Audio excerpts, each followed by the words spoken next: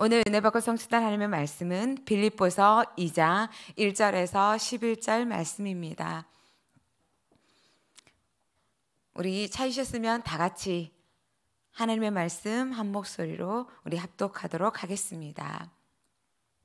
그러므로 그리스도 안에 무슨 권면이나 사랑의 무슨 위로나 성령의 무슨 교제나 궁일이나 자비가 있거든 마음을 같이하여 같은 사랑을 가지고 뜻을 합하여 한 마음을 품어 아무 일에든지 다툼이나 허용으로 하지 말고 오직 겸손한 마음으로 각각 자기보다 남을 낮게 여기고 각각 자기 일을 돌볼 뿐더러 또한 각각 다른 사람들의 일을 돌보아 나의 기쁨을 충만하게 하라.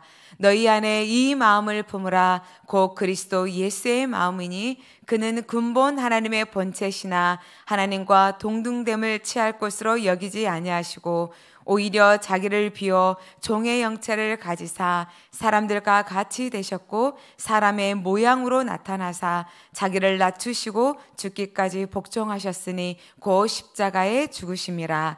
이러므로 하나님이 그를 지극히 높여 모든 이름 위에 뛰어난 이름을 주사 하늘에 있는 자들과 땅에 있는 자들과 땅 아래에 있는 자들로 모든 무릎을 예수의 이름에 꿇게 하시고 모든 입으로 예수 그리스도를 주라 시인하여 하나님 아버지께 영광을 돌리게 하셨느니라.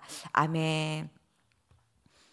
우리에게 주신 언약의 말씀은 어, 우리가 품어야 할 마음이라는 강단 말씀을 통하여 함께 은혜를 나누고자 합니다.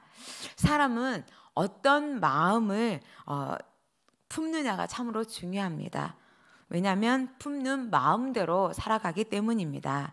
잠언 4장 23절 말씀을 보면 무릇 지킬 만한 것보다 더욱 내 마음을 지키라. 생명이 이에서 남이니라. 라고 말씀하고 있습니다. 우리가 여러 가지 꼭 지켜야 할 것들이 너무너무 많이 있는데 최고의 중요한 게 바로 우리의 마음, 내 마음을 지키는 것이 중요하다라고 말씀하십니다. 마음은 사람의 인격의 활동의 중심지고 또 지, 정, 의가 근거지가 바로 마음이기 때문입니다. 오늘 우리 예수님은 하나님의 자녀인 저와 여러분에게 말씀하고 있습니다. 너희 안에 이 마음을 품어라. 곧 어떤 마음이냐? 바로 예수 그리스도의 마음을 품으라고 말씀하십니다. 하나님의 자녀요. 저와 여러분은 사도행전 1장 1절 3절 8절 오직 그리스도 오직 하나님의 나라 오직 성령의 충만함을 강구하며 살기를 원하는 우리 안에 먼저 예틀을 벗고 세틀을 어, 정말 누리기 위하여서 가져야 될 것 바로 나의 주인 되어 주시는 그리스도 바로 예수님의 마음을 가져야 합니다. 왜냐하면 저와 여러분은 예수 안에서 죽었고 예수 안에서 살았기 때문입니다. 예수님의 마음이 어, 우리의 마음이 되기를 원하고 그래서 하나님을 가장 원하시는 기쁨의 신앙생활하는 그 축복을 누리기를 원합니다. 우리가 문제 속에 근심하다 보면 문제 속에 잡히다 보면 우리의 마음이 문제가 주인 되어져서 부정적이고 불신앙적인 마음이 들고 또 세상적인 그 마음 속에서 상처가 주인 되어지고 또 돈이 주인 되어지고 오해된 마음 또 무엇을 먹을까 마실까 입을까 서론에 잡혀 또 우리의 마음과 생각을 빼앗기는 이러할 때가 너무나도 많이 있습니다. 그럴 때 저와 여러분은 오늘 주시는 본문의 말씀 그리스도 예수의 마음으로 우리가 그 말씀을 묵상하고 생각하며 우리의 삶에 적용하여서 승리하는 우리 예원의 성도님들이 되시기를 주님의 이름으로 축복합니다. 첫 번째입니다. 기쁨 충만한 마음입니다. 바울 사도가 어떤 마음을 품고 일평생 예수 그리스도를 만나고 난 다음에 살았느냐. 빌립보서 1장 18절에서 21절의 말씀을 보면 잘 알 수 있습니다. 바로 기쁨이 충만한 마음을 가졌습니다. 나의 형편이 어떠하든지 상관없이 그리스도가 전파된다면 나는 그것으로 인하여서 기뻐하고 기뻐한다. 라고 고백을 하고요. 내가 살든지 죽든지 나를 통해 그리스도가 존귀하게 된다면 나는 감사하고 기뻐한다는 고백을 하였습니다. 이 말씀을 통하여 우리가 다시 한번 적용할 때 하나님 나는 지금 이 순간에도 무엇 때문에 기뻐하고 있고 내가 무엇 때문에 살아가고 있고 나의 전부가 무엇입니까? 오직 바울 사도처럼 그리스도가 복음이 증거되고 생명이 살아나는 그 일에 하나님 나의 기쁨이 되어지고 나의 모든 것들이 되어지기를 원합니다 라고 고백하는 믿음의 기도가 되어진 줄 믿습니다. 왜 예수 그리스도가 전파되고 그리스도가 존귀하게 되는 것이 가장 기쁘고 가치 있는 일일까요? 예수 그리스도 안에만 생명이 있기 때문입니다. 오직 예수 그리스도 안에 유일한 구원의 길이 있기 때문입니다. 죄와 사단과 하나님이 떠난 인간의 근본 문제를 완벽하게 해결하시고 우리에게 참된 자유를 주는 또 영생을 얻는 그 축복이 예수 그리스도 안에 있기 때문입니다. 그래서 저와 여러분도 예수 그리스도 안에 있기에 영원한 생명을 얻고 하나님의 자녀가 되었고 이 시간에 나와서 하나님 앞에 예배드리며 기도한 줄 믿습니다. 사도행전 4장 12절 우리가 다 아는 말씀이지만 다른 이로서는 구원 얻을 수 없나니 천하 사람 중에 구원 얻을 만한 다른 이름을 우리에게 주신 일이 없습니다. 구원받은 하나님의 자녀, 저와 여러분은 예수의 생명을 가졌습니다.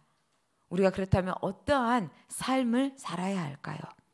첫 번째가 그리스도 안에서 한 마음, 한 뜻을 가지고 하나가 되어야 합니다. 예배소서 4장 3절을 보면 평안에 매는 줄로 성령이 하나 되게 하신 것을 힘써 지키라. 4장 2절에 보면 모든 겸손과 온유로 하고 오래 참음과 사랑 가운데서 서로 용납하고 사단은 하나가 되지 못하게 합니다. 할 수만 있으면 하나님과 하나가 되지 못하게 하고 하나님이 함께 하신 그리스도 안에서 피로 사신 하나님의 자녀된 지체가 하나 되지 못하도록 하고 가정이 하나 되지 못하게 하고 교회가 하나 되지 못하도록 우는 사자와 같이 깨뜨리고 삼키려 하고 넘어뜨리려고 하고 있습니다. 그래서 저와 여러분은 정말 성령 안에서 하나가 되게 하시는 것을 힘써 지키라고 말씀하고 있습니다. 힘써 지켜라. 나의 모든 생각과 나의 기준을 뛰어넘어서 하나님이 원하시고 성령이 원하시는 말씀대로 나의 모든 것들을 내려놓고 우리가 하나 되는 일에 힘써 지키기를 원합니다. 나 중심에 자존심에 상처 등 날마다 불화살을 쏟는 이러한 흑암의 세력을 보고 우리가 영적인 분별함 속에서 어, 승리하기를 원합니다. 초대교회가 하나님 앞에 아름답게 쓰임 받았지만 그 안에서 또 여러 가지의 세력 다툼 가지고 있는 분열 바로 이런 부분도 있었습니다. 빌립보 교회도 전도자의 바울에 대한 사랑도 있었고 복음의 전파한 그 열정도 가지고 있었지만 교회 안에 사역자들이 서로 보이지 않게 싸운 영적인 갈등들이 있었기 때문입니다. 구원받은 하나님의 자녀라고 해서 완벽한 사람은 하나도 없습니다. 예수 그리스도를 믿는 순간에 저와 여러분 하나님의 자녀가 되어졌고 우리의 신분은 영적인 신분, 바로 하나님의 자녀로 신분은 즉시 일어났지만 그 신분에 걸맞는 삶을 살기 위하여서는 변화의 시간이 필요합니다.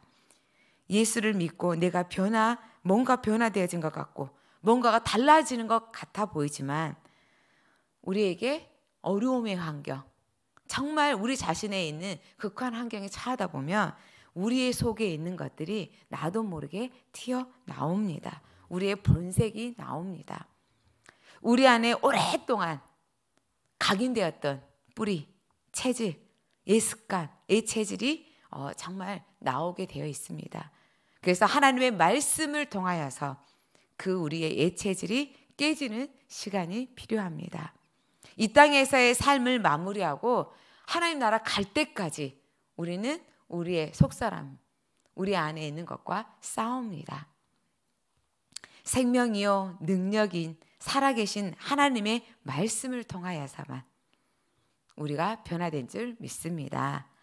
두 번째가 오직 겸손한 마음으로 자기보다 남을 낮게 여기고 다른 사람들의 일까지 돌보는 삶을 살아라 라고 하나님은 바울 사도를 통하여서 우리에게 말씀하고 있습니다. 사람은 겸손하기보다는 겸손하지 못하고 나를 드러낼 때가 더욱 많이 있습니다. 내가 잘 되고 내가 남보다 더 낫고 똑똑하고 인정받아야 되고 뛰어나고 뭐든지 능가하기를 원합니다. 내 자녀가 다른 사람보다 내가 가지고 있는 것들이 다른 사람보다 다른 사람의 일을 돌보는 것보다 나의 일이 먼저 우선이고 내 일이 가장 앞서기를 원합니다. 하지만 오늘 본문의 말씀을 통하여 반대로 하나님은 말씀하십니다. 너보다 다른 사람들을 더 높이, 더 정귀하게, 귀하게 여겨라. 그리스도 예수 안에서 어려운 사람을 만나면 너도 어렵고 힘들지만 그 사람을 품고 사랑해주고 그 사람의 일을 돌보아 주어라. 라고 말씀하고 있습니다. 이럴 때 우리 안에 하나님이 주시는 기쁨이 임합니다.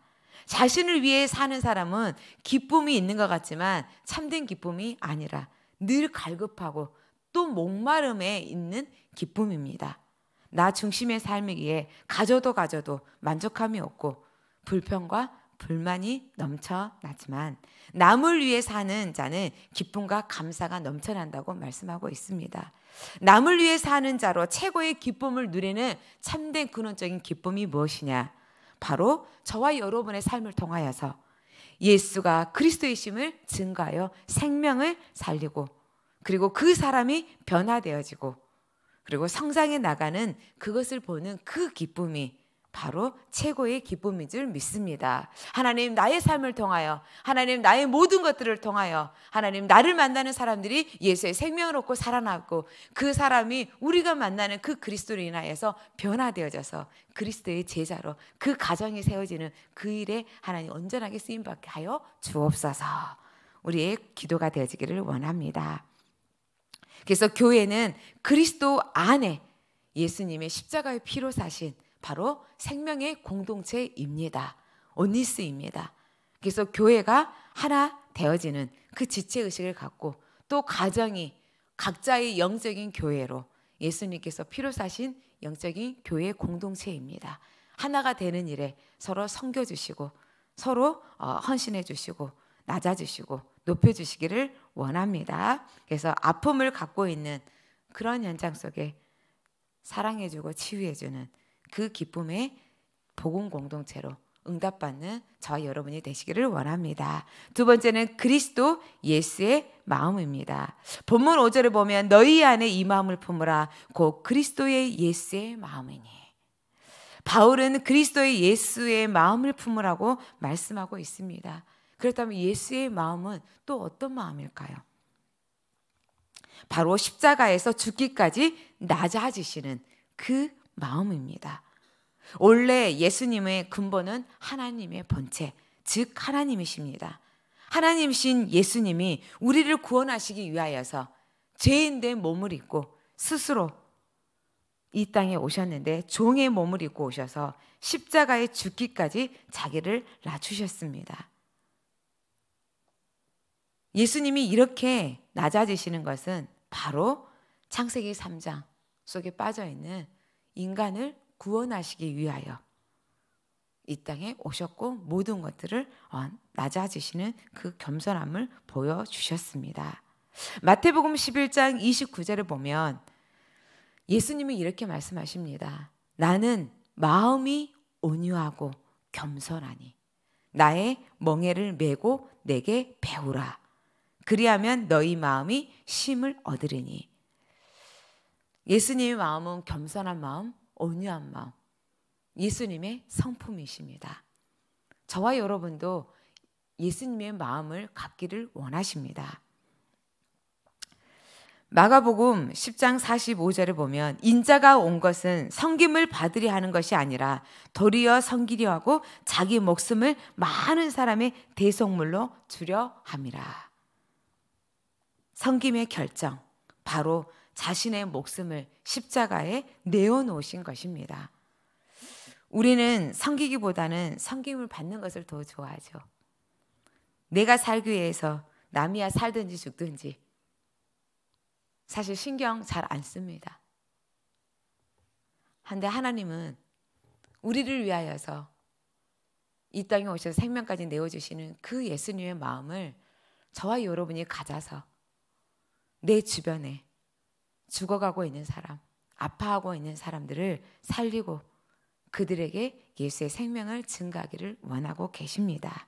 예수님은 하나님의 말씀대로 순종하였습니다. 죽기까지 복종하셨습니다.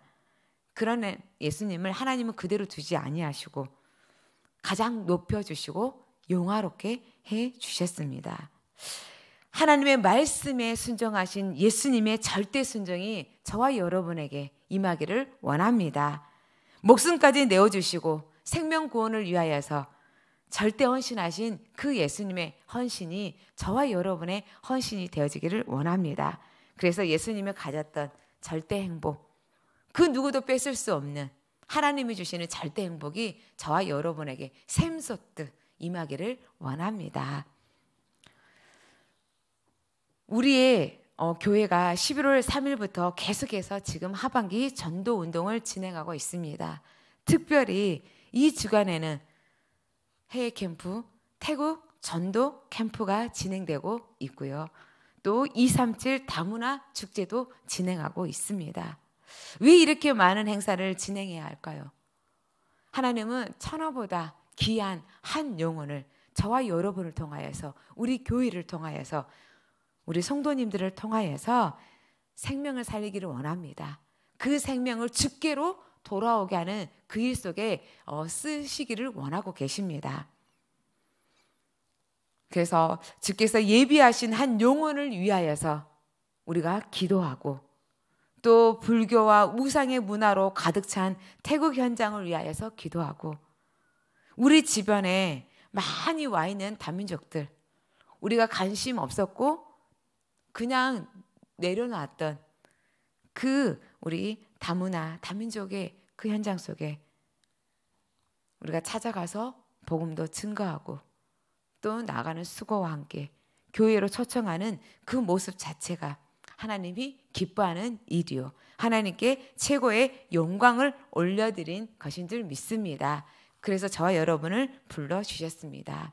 결론입니다. 전 세계의 어, 대표 음료수인 코카콜라. 이 회장이 말한 걸 우리 어, 담임 목사님께서 결론으로 말씀하셨는데 코카콜라를 모르는 사람이 계속 태어나기 때문에 많은 돈을 들여서 광고를 계속 간다. 라고 했습니다.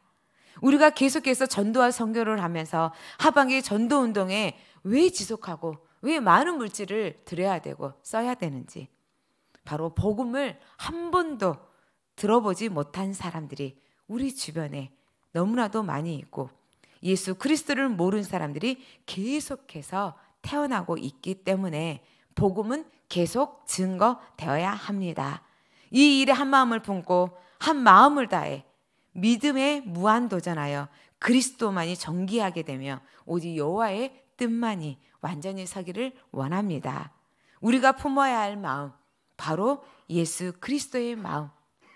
생명까지도 다 내어 주시는 그 마음을 가지고 저와 여러분에게 제사장이요 선지자요 왕적인 우리에게 사명을 주신 생명 살리는 모든 사람이 구원 얻기를 원하시는 하나님 아버지의 그 마음을 가지고 하나님의 소원이 절대 목표, 절대 소원, 절대 계획 속에 주님 오시는 그날까지 이 복음의 언약이 저와 여러분을 통하여 우리 교회를 통하여 우리의 가정과 직장과 우리의 사업장에 통하여서 증거되기를 원하고 우리의 후대와 후대와 후대가 주님 오시는 그날까지 이 복음의 언약의 증거의 바톤을 남기는 증인의 삶을 살기를 원합니다. 이 일에 온통 쓰임 받는 우리 예원의 우리 모든 어, 성도님들이 되시기를 주님의 이름으로 축원합니다.